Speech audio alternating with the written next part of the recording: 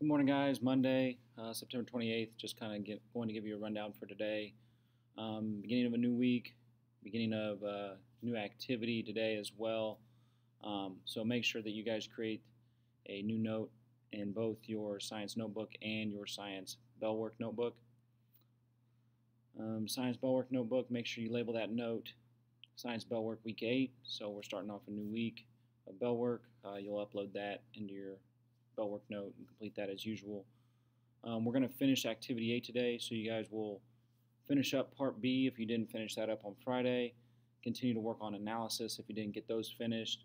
Once you have everything finished with Activity 8, make sure that in your Activity 8 note you have those procedures, key terms, challenge question, um, analysis for Part A and Part B.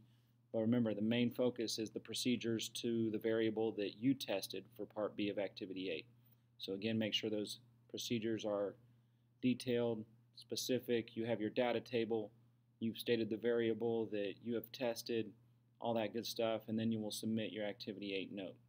And then we will just move on to Activity 9. Um, it's called Sick Day, so create a new note, Science Notebook Notability, label it Activity 9 Sick Day, and you'll just complete the key terms and challenge for today and then tomorrow we'll move into the activity. If you guys have any questions, make sure you reach out to me and let me know. If not, have a good day. Bye.